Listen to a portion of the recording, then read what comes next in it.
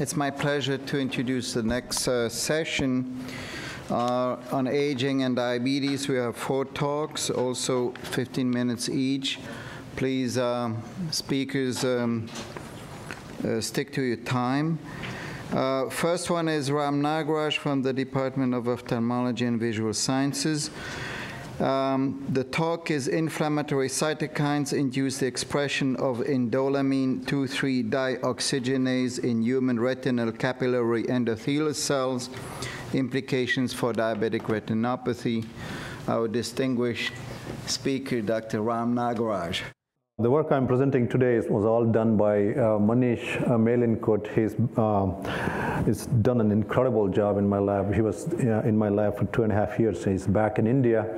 He has two jobs in India. One is uh, as a professor in a medical school and in a biotech company in the evening. So only Manish can do those kinds of things, I think. So he's done a lot of work. I'm presenting to you today uh, the work that we submitted to Journal of Biological Chemistry is being reviewed. Um, um, this is the work on human retinal endothelial cells.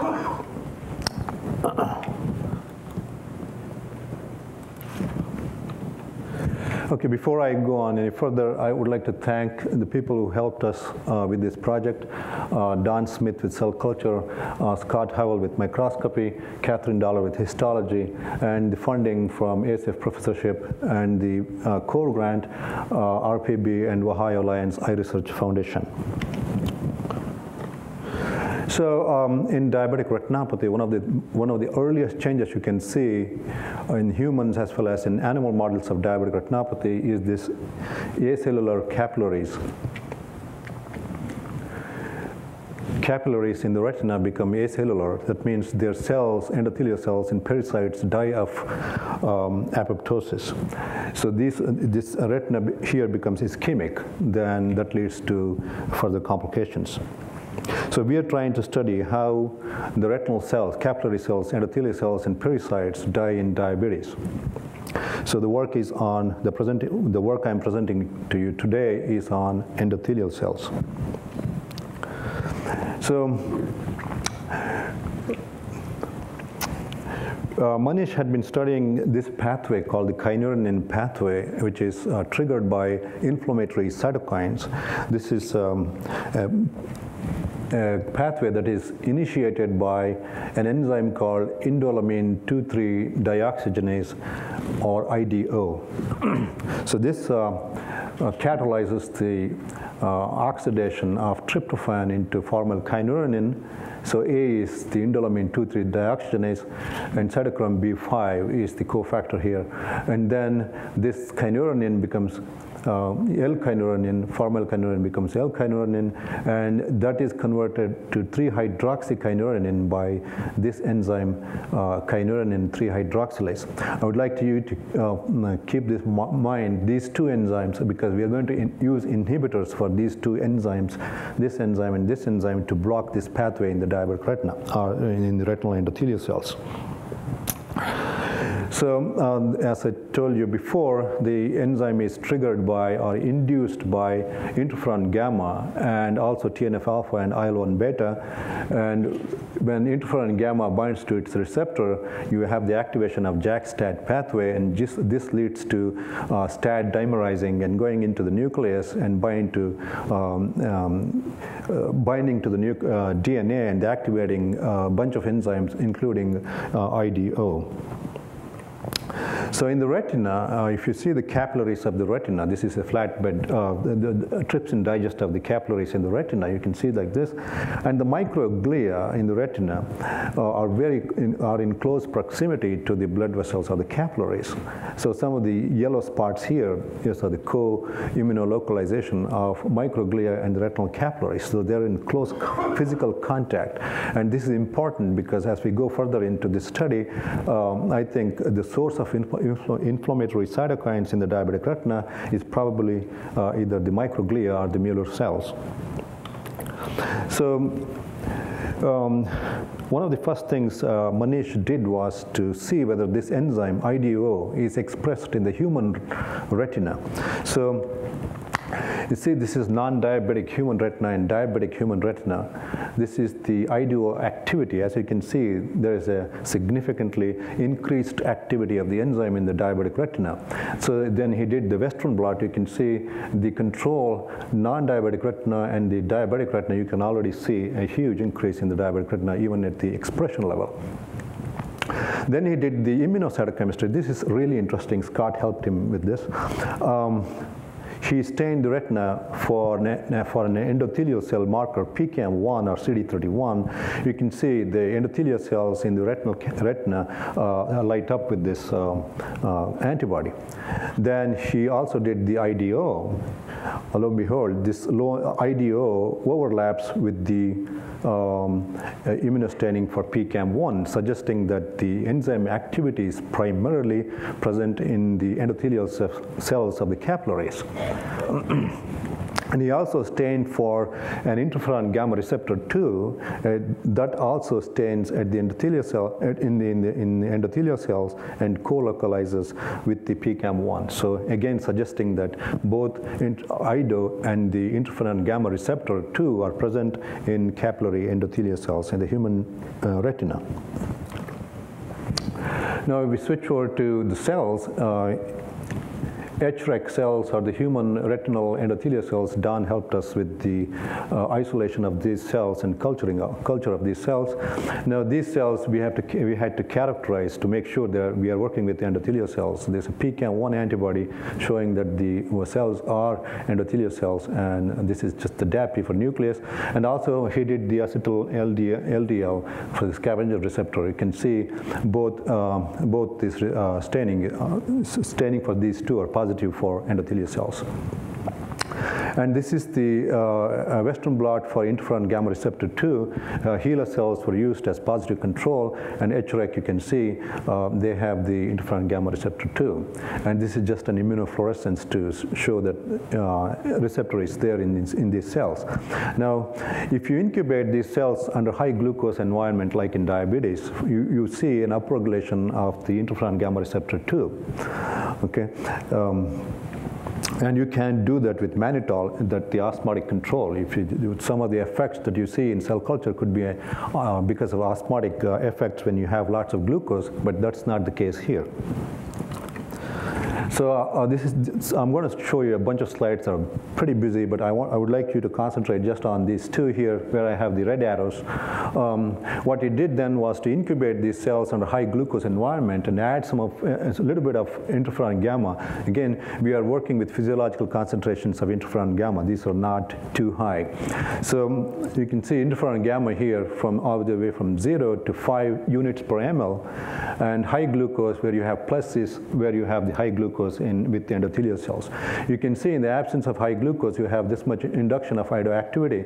But if you have high glucose, you have an additive effect here. That means high glucose somehow sensitizes retinal endothelial cells for interferon gamma effect, for the interferon gamma effect. So we couldn't do that with uh, either L-glucose, which, which, is a metabolic control, or D-mannitol, which is an osmotic control. You, you, you, you don't get the same effect. That means this effect is specific for high glucose, that's D-glucose.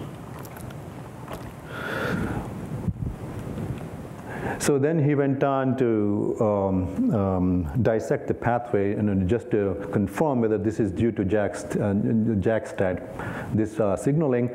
Um, indeed, when you add interferon gamma to retinal endothelial cells, you have the activation of uh, JAK, the JAK, uh, JAK1's JAK-STAT pathway, and you can inhibit that pathway by um, this enzyme STAT, uh, this inhibitor, STAT inhibitor, then that completely um, prevents the activation activation of this enzyme IDO, clearly confirming that the activation of IDO occurs through this signaling pathway.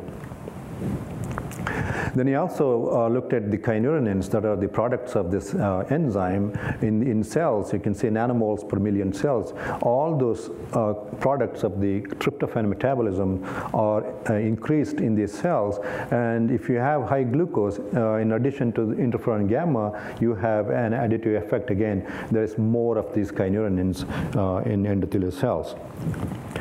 So when these kynurenines are produced in cells, they bind to proteins. So we have uh, developed two monoclonal antibodies that recognize specifically these uh, modified proteins, and you use those uh, monoclonal antibodies to show that indeed when you have when you add interferon gamma to uh, HREC, you have kynurenines binding to cytosolic proteins that is shown here in this.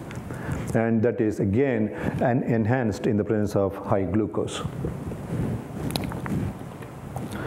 So we also did the um, uh, cell cycle and uh, assay um, analysis by flow cytometry, and he showed that uh, when you have when, you have interferon gamma with HREC, uh, you have cells being arrested at sub G1, or there is no they are not going through the cell cycle. You can see here as we increase interferon gamma concentration, you have more more uh, cells in this uh, sub G1 phase. When you have these two inhibitors, this one MT is an inhibitor for IDO, and R, R061, which is an inhibitor for 3-hydroxylase, that is the enzyme that hydroxylates kynurenine, both of them prevent this uh, cell cycle arrest. That means it's, it's clearly um, IDO-mediated. So then he looked at the cell's uh, apoptosis, uh, uh, whether apoptosis is occurring in these cells. Before that, he did the caspase measurements, caspase 3 and caspase 9. This is caspase 3 and this is caspase 9. And both of them are increased um, with interferon gamma and you have high glucose. Again, there is an, an additional increase and both of that can be um, prevented by having these two inhibitors, MT and R. 0.6061. You can see there's nothing there. Um, so again, suggesting that uh, uh, this caspase activation occur, was occurring through um, IDO um, activation.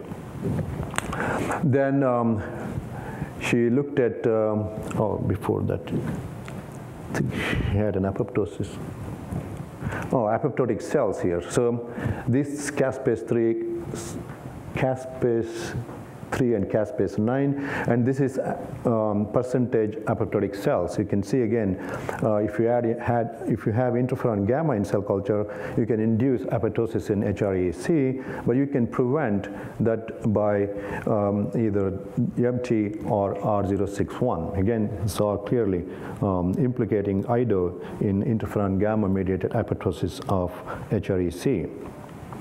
Then he looked at the mechanism of apoptosis, why it is occurring. Then he used an inhibitor called Tempol, which is a reactive oxygen species quencher. If you uh, add that, then there is um, you can inhibit apoptosis induced by interferon gamma. So this is this was done because 3-hydroxykynurenine, one of the products, uh, binds to metal ions and can generate reactive oxygen species, uh, which is shown shown here, which, you know, so that hydroxyl radical generated can kill cells. I think that's the mechanism by which interferon gamma uh, kills retinal endothelial cells. Now, he also showed that TNF alpha, in addition to uh, interferon gamma, um, can synergistically induce IDO in HREC. This is very important for the uh, in, in, the diabetic retina because you have both TNF alpha, uh, you have TNF alpha, IL-1, IL-1 beta, um, and uh, interferon gamma are elevated. So he wanted to see whether there is a synergist, synergistic effect. As you can see, if you have TNF alpha and interferon gamma together, you have a large increase uh, in um, IDO activity which is the western blot here. And um, again, this is together, these two uh, interferon gamma and TNF alpha together. Again, if you have these two together, you have you make lots of kynurenines in uh, HREC, so which is shown here. Interferon gamma, TNF alpha together, huge increase. And even apoptosis, if you measure, if you have these two cytokines together, TNF alpha and interferon gamma, you can see a huge increase in apoptosis, but both of that can be blocked by uh, IDO, the IDO pathway inhibitors MT and R061. So in summary, IDO and interferon gamma receptor 2 are present in the human retinal capillary endothelial cells Interferon gamma induces the expression of IDO and interferon gamma receptor 2. Interferon gamma induced IDO expression is exaggerated by high glucose, suggesting that high glucose um, suggesting HD high glucose mediated sensitization of HREC for interferon gamma mediated damage. Uh, high glucose also ex exaggerates interferon gamma mediated kynurenine information, interferon gamma mediated reactive oxygen species formation, interferon gamma mediated cell cycle arrest, and interferon gamma mediated apoptosis. And TNF alpha and IL 1 beta with interferon gamma synergistically induce IDO and bring about apoptosis of HREC. And the conclusions are inflammatory cytokine mediated induction of IDO could be a major pathway for retinal capillary endothelial cell apoptosis in the diabetic retina. The kynurenine pathway could be a target for prevention of vascular abnormalities in the diabetic in, in, in diabetic retinopathy. Now we have made um, we have a knockout animal for the IDO from Jackson Lab. We have uh, made those animals diabetic, and after eight months of diabetes, we have given those retinas or the eyes to Tim Kern for uh, his lab to evaluate whether, uh, in the absence of the enzyme, um, there is, uh, prevention or inhibition of uh, uh, capillary, capillary degeneration in diabetic retinopathy. And that's, that's it. Thank you. Just got a quick question before. Yes. Hey. So, how much evidence is there that gamma interferon is produced endogenously? Um, Diabetic. Actually, we are measuring now. One of the, that, was, that was one of the questions uh, uh from the reviewers. Um, there are plenty of evidence that ga gamma interferon, uh, maybe a thing, um, there's plenty of evidence that it is there, but the effect of diabetes, there's not a whole lot in the literature, uh, whether that is upregulated or not. So we need to sort that out before I can answer the question. Pardon me? Does Tim show that in any of his animal models?